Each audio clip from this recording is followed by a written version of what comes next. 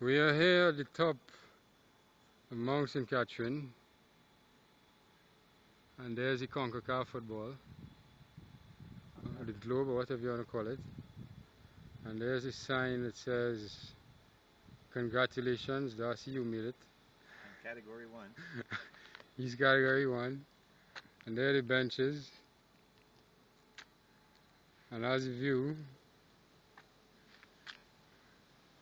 and there's the old Darcy car. Yeah the grandpa car. Let's go back up again and we close off right here on the nice globe